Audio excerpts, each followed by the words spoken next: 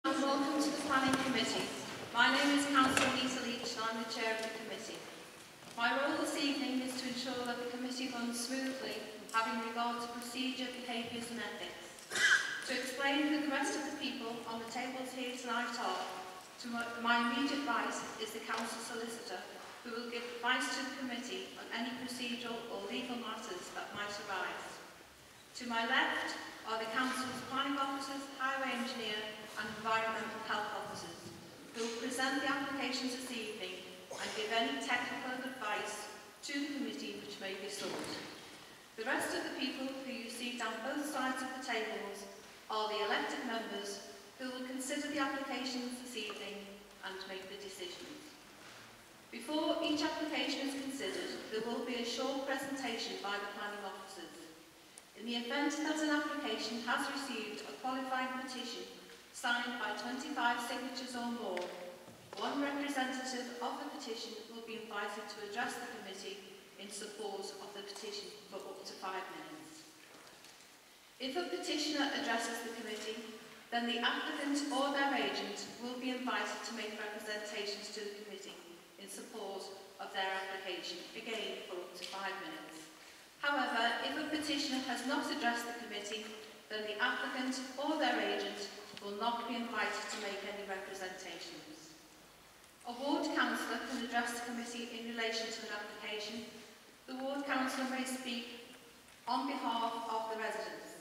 However, once the ward councillor has returned to the public gallery, they may not return to take part in any debate that may follow by the committee.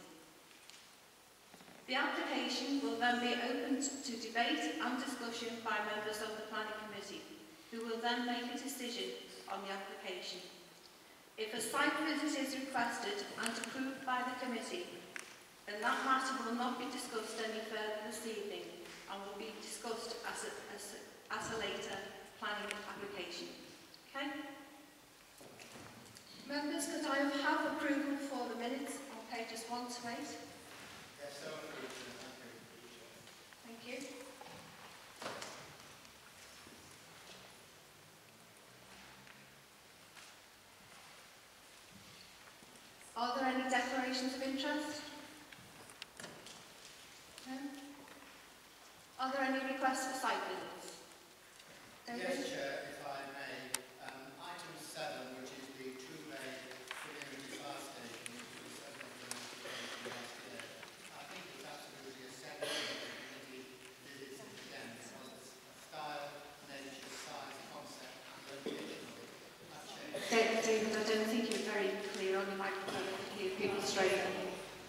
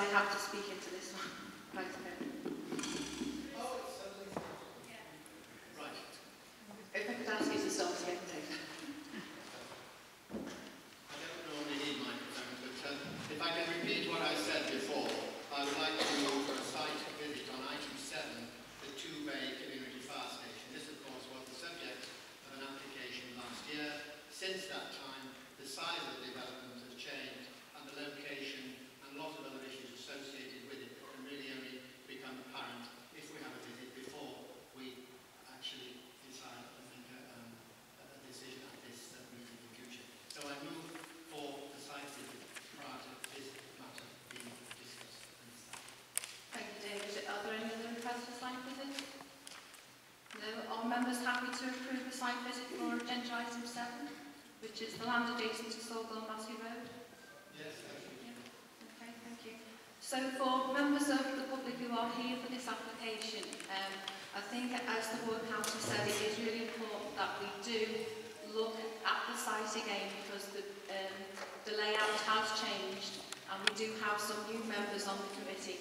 So I, I welcome the request for a site visit and I'm sorry to drag those of you out this evening Unfortunately, we can't make these decisions ahead of tonight. It has to be on tonight, otherwise we would do.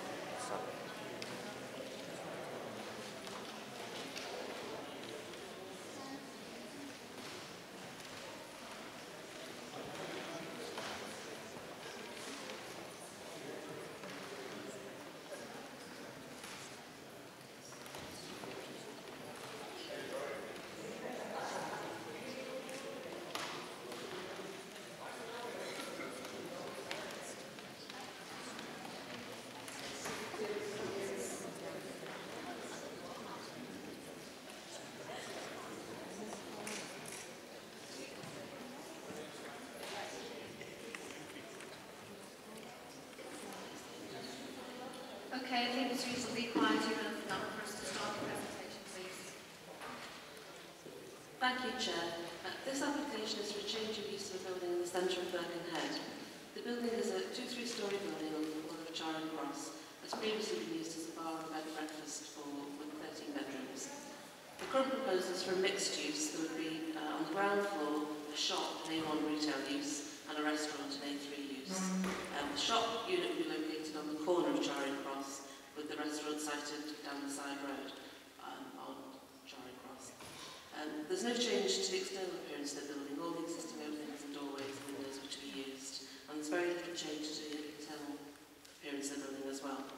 Um, the residential accommodation is 12 bedrooms, which ranges over two floors. Um, there are 12 single bedrooms. The first floor has seven beds, seven bedrooms, um, two kitchens, one lounge, and two bathrooms second floor would have five bedrooms, one kitchen, one lounge and one bathroom. There's a fire escape which exits from the first floor into a rear yard, which will be yard being used to store bins and cycles. Uh, the main entrance to the flats themselves off Roxton Road on the side of the building. The proposal was initially submitted for 14 bedrooms, but after consultation with Housing and Standards team, it's decreased to 12, and this provides 12 rooms which exceed the minimum six and a half metre statutory size recommended by housing standards. Um, there's no parking proposed with the application. It did state that in the report, but this was prior to the plans being amended from 14 to 12. So there's no off-street parking within the development, um, but there is cycle parking. It is a town centre location, which is a suitable location for public transport, and it is recommended for approval on that basis.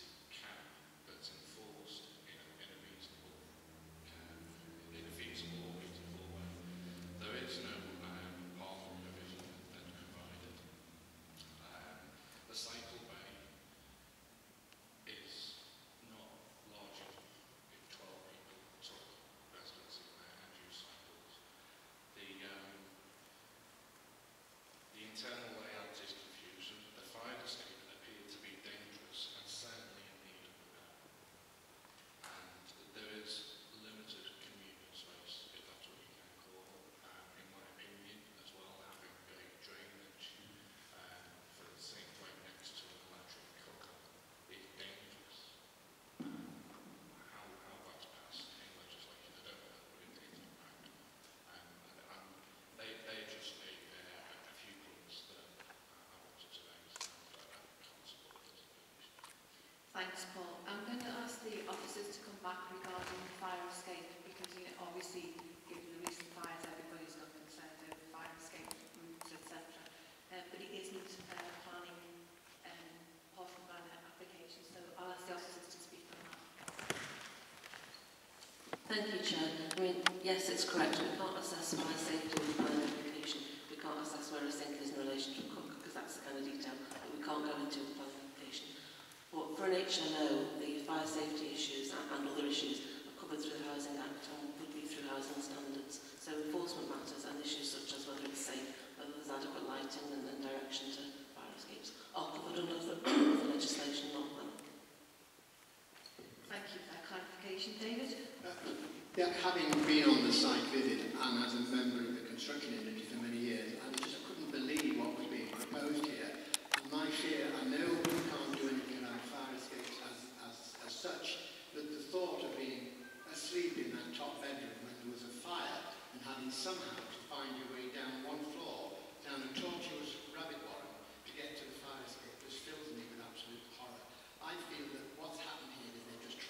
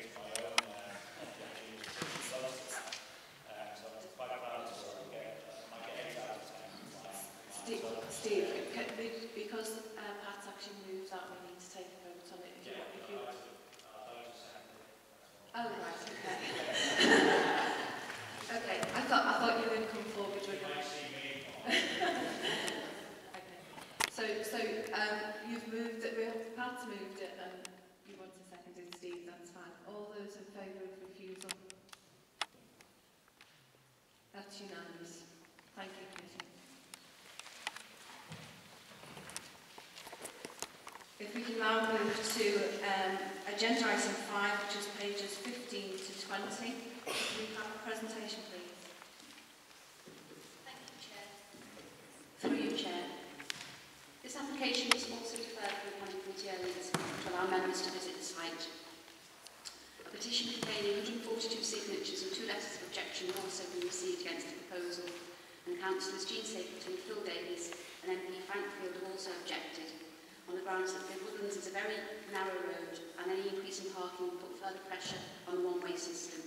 And the area suffers from antisocial behaviour and the increase in multi-occupancy properties has the potential um, to, to, for the deterioration of the area and the character of the conservation area. The applications for conversion of the property to four self-contained flats and construction of a dorm window at the rear of the property The house is, is located within the Clifton Park Conservation Area and situ situated at the end of a terrace of six houses fronting the woodlands. The silent site, site bounds Lowood Grove. The property is set over four floors, which includes rooms in the basement and the roof. It's considered that the main issues to assess in relation to this application is the impact of the conversion of residential amenities of the surrounding occupiers to overlooking, highway implications, and the impact of the proposal on the character of the conservation area proposed conversion utilises the majority of the existing openings, the exception to this is the provision of roof, roof lights the front and the flat roof door at the rear. The angle of the property and the location of the door ensures that the Council's minimum, minimum interface distances are met between this property and those existing dwellings in Lowood Road.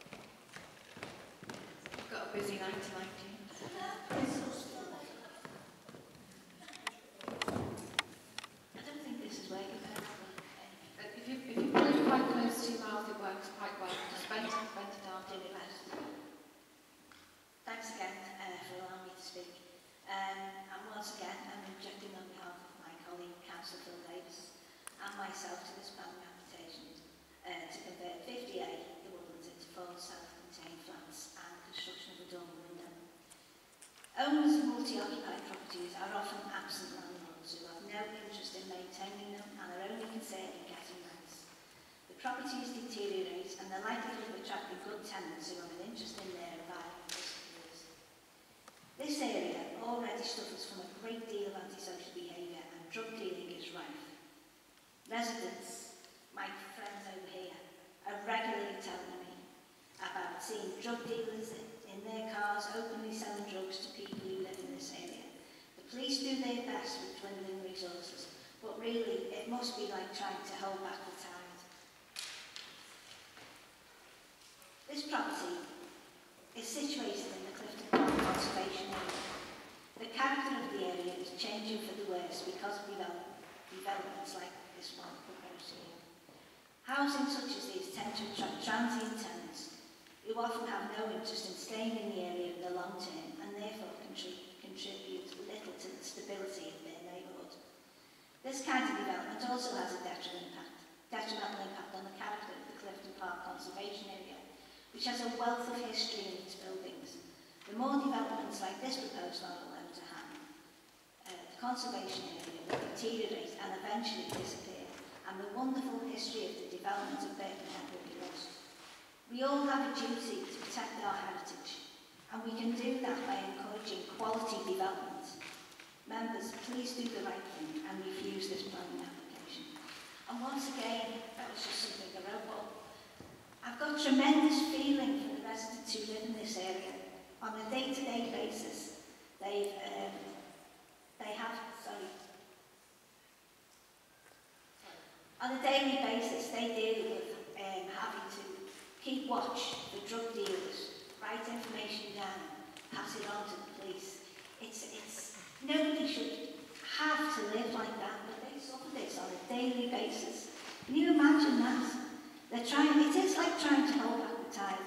And once again, it's part of, although it's Tranmere, it's part of the Birkenhead Town Centre. We need to have a comprehensive plan to look at all of this. And applications like this should not be decided in isolation, just on its own merits. It, it has its impact. It's like putting a, a pebble in a pond and the ripples go right out.